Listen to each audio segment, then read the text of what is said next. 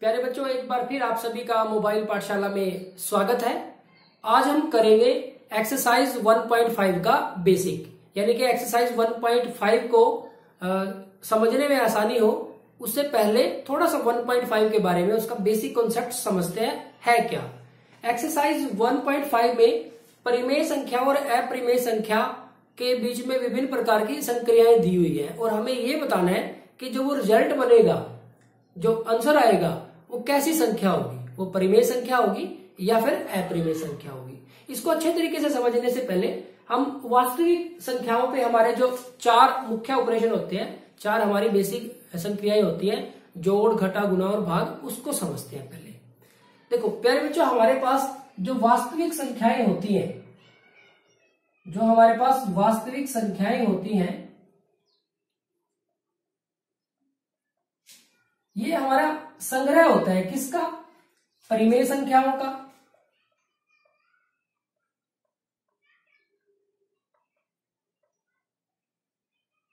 और अपरिमेय संख्याओं का।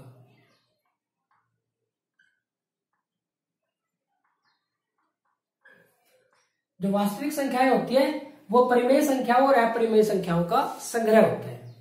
अब यानी कि कोई भी वास्तविक संख्या या तो वो परिमेय संख्या होगी या फिर वो अपरिमेय संख्या होगी। अब हम देखो, तीन केसेस बनते हैं हमारे पास। पहले बात करते हैं, जब हम दो परिमेय संख्या का जोड़ करते हैं, दो परिमेय संख्याओं का जोड़। जब हम दो परिमेय संख्याओं का जोड़ करेंगे अब देखो, हम कोई भी परिमेय संख्या ले लें, एक तो दो ले ली और एक तीन बटा दो ले ली। तो कुछ भी कर ले, इसको जोड़ करने के बाद आंसर तो एक परिमेय संख्या ही आना है। कुछ भी ले लो, कोई सी भी दो परिमेय संख्या तो हमारा जो आंसर होगा, वो क्या आएगा? परिमेय संख्या ही आएगा। दो परिमेय संख्याओं का जोड़ हमेशा परिमेय संख्या ही होगा। ठीक इसी तरह से, अगर हम दो परिमेय संख्याओं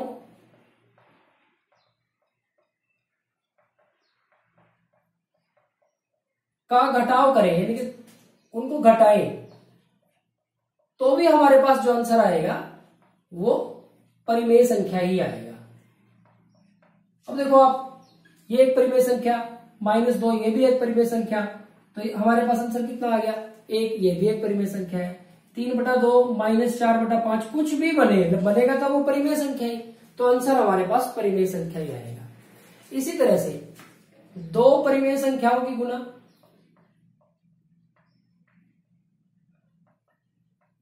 दो परिमेय संख्याओं की गुणा या गुणन। जब दो परिमेय संख्याओं की गुणा करेंगे तो आंसर वो भी क्या आएगा? एक परिमेय संख्या ही आएगा। दो परिमेय संख्याओं की गुणा भी एक परिमेय संख्या ही आएगी। ठीक इसी तरह से दो परिमेय संख्याओं का भाग। अब भाग में देखो, ये बात ध्यान रखनी है आपको कि बटे में ज़ीरो लाओ बस। गुना का देखो, कुछ भी ले लो आप। जैसे गुना की अगर हम बात करें तो दो गुना तीन लेंगे तो कितना आएगा? छह। ये भी परिमेय, ये भी परिमेय तो आंसर भी परिमेय। तीन बटा दो गुना छह बटे पाँच, कुछ भी बने तो जो आंसर बनेगा वो क्या बनेगा? एक परिमेय संख्या ही बनेगा। अब भाग के बारे में देखते हैं कि जब एक परिमेय संख्या को, एक परिमेय संख्या को तो दूसरी परिमेय संख्या से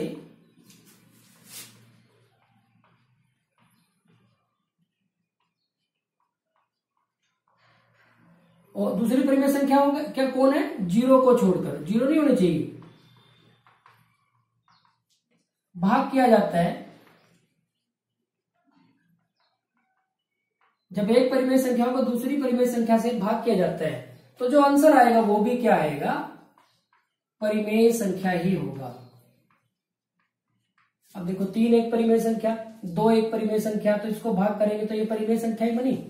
मान लो तीन बटा दो एक परिमेय संख्या, चार बटा पाँच एक परिमेय संख्या तो जब इसको भाग करेंगे तो ये तीन गुना, ये दोनों इकट्ठे हो जाएँगे और ये दोनों इकट्ठे, तीन गुना में पाँच और दो गुना में चार, पंद्रह और बटे में आठ। तो ये भी एक परिमेय संख्या ही बनी। यानी कि प्यारे बच्चों, परिमेय संख्याओं का चाहे जोड़ कर ले, दो परिमेय संख्याओं का, चाहे उनका घटाव कर ले, चाहे उनकी गुना कर ले, चाहे उनकी भाग कर ले। हमें जो आंसर मिलेगा, वो क्या मिलेगा? एक परिमेय संख्या ही मिलेगा।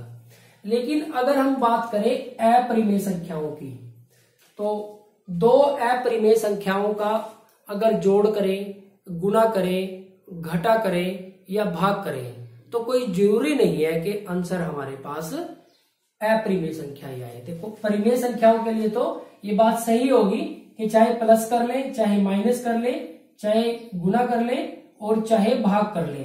तो जो आंसर आएगा वो परिमेय संख्या ही होगा। लेकिन अपरिमेय संख्याओं के बारे में ये बात सही नहीं है। दो अपरिमेय संख्याओं का जोड़, दो अपरिमेय संख्याओं की गुना दो अपरिमेय संख्याओं का घटाव और दो अपरिमेय संख्याओं का भाग कोई ज़रूरी नहीं है कि अपरिमेय संख्या ही आए, वो परिमेय संख्या भी हो सकता है। देखो, एक अपरिमेय संख्या हमने दो, वर्गमूल दो ली, दूसरी अपरिमेय संख्या भी वर्गमूल दो ली।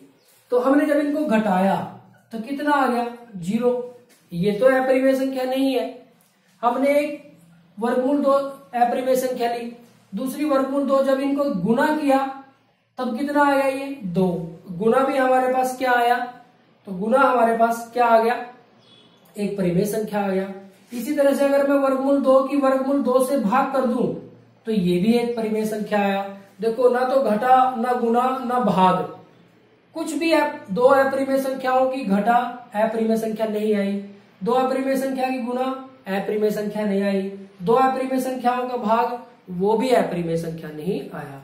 यानी कि दो अपरिमेय संख्याओं की जो जोड़, घटा गुना और भाग है वो कोई ज़रूरी नहीं है कि अपरिमेय संख्या। आ भी सकती है अपरिमेय संख्या, लेकिन जैसे परिमेय संख्या में हमेशा परिमेय संख्या आएगी, अपरिमेय संख्याओं में ऐसा नहीं है। उनका जोड़, घटा गुना और भाग परिमेय संख्या भी आ सकता है। यहाँ पे मैंने एक एग्ज़ाम्पल नहीं लिया, अभी मैं उसको थोड़ी देर में लेता हूँ। थोड़ी देर बाद उसका प्लस वाला नहीं लिया, बस अब उसकी थोड़ी देर में बात करते हैं। अब तीसरा हमारा, हमारे पास क्या केस बनता है? तीसरा हमारे पास केस केस बनता है कि एक तो हमारे पास परिमेय संख्या है। जिसको हमने पी ले लिया। और एक अपरिमेय संख्या है आर आर ले लिया। एक परिमेय संख्या पी ले ली और एक परिमेय संख्या अपरिमेय संख्या आर परिमेय संख्या पी और अपरिमेय संख्या आर यानी कि यहाँ पे R plus P R minus P R गुना पी और आर बटे पी ये क्या बनेगी यानी कि एक तो परिमेय संख्या है और एक अपरिमेय संख्या है? परिमेय संख्या को पी लिखा अपरिमेय संख्या को आर लिखा। तो जब दो एक परिमेय एक परिमेय और एक अपरिमेय को जोड़ेंगे, एक परिमेय और एक अपरिमेय को घटाएँगे, एक परिमेय और एक अपरिमेय की गुणा करेंगे, एक परिमेय और एक अपरिमेय को भाग करेंगे आपस में, ये आगे पीछे हो सकती है। पहले परिमेय भी आ सकती है, पहले अपरिमेय भी आ सकता है, उससे कोई फ़र्क नहीं पड़ेगा। तो प्यारे बच्चों, जब आप एक परिमेय संख्या और एक अपरिमेय संख्याओं का जोड़ करेंगे तो वो जो आंसर आएगा, वो अपरिमेय संख्या आएगा। ठीक इसी तरह से एक परिमेय और एक अपरिमेय संख्या का घटाव करोगे तो भी आंसर क्या आएगा? एक अपरिमेय संख्या ही आएगा। ठीक इसी तरह से जब आप दो एक परिमेय और एक अपरिमेय संख्या की गुणा करोगे तो भी आंसर क्या आएगा? एक अपरिमेय संख्या ही आंसर आएगा। अपरिमेय संख्या। यहाँ पे संख्या नहीं लिख पाए क्योंकि जगह थोड़ी कम थी। इसी तरह से जब एक परिमेय संख्या को अपरिमेय संख्या से भाग करो या अपरिमेय संख्या को परिमेय संख्या से भाग। यहाँ पे हमारे पास ऊपर कौन है? ऊपर हमारे पास अपरिमेय संख्या है, नीचे परिमेय संख्या है। ऊपर ये भी कर सकते हो आप पी बटा आर भी कर सकते हो। कोई फ़र्क नहीं पड़ता। मतलब वो एक अपरिमेय संख्या है और एक परिमेय संख्या जब इनकी भाग करोगे आप तो भी आंसर क्या आएगा हमारे पास? अपरिमेय संख्या ही आंसर आएगा। बस अगर नीचे परिमेय संख्या है पी तो वो पी ज़ीरो नहीं होना चाहिए, क्योंकि तो अगर नीचे ज़ीरो आ गया, हर में तो अपरिभाषित हो जाएगा। तो ये बात ध्यान रखनी है। तो प्यारे बच्चों एक्सरसाइज 1.5 के लिए जो बेसिक है, उसको कंक्लूड करता हूँ। अगर दो परिमेय संख्याएँ हैं तो उनका जोड़ घटा गुना और भाग क्या होगा? एक परिमेय संख्या ही होगा। बस बटे में, जो भाग की बात है तो बटे में ज़ीरो ना हो। इसी तरह से अगर दो अपरिमेय संख्या लें तो उनका जोड़ घटा जोड़ घटा गुणा और भाग, कोई ज़रूरी नहीं है कि अपरिमेय संख्या ही हो। वो परिमेय भी हो सकता है और अपरिमेय भी हो सकता है। तो यहाँ पे गड़बड़ है।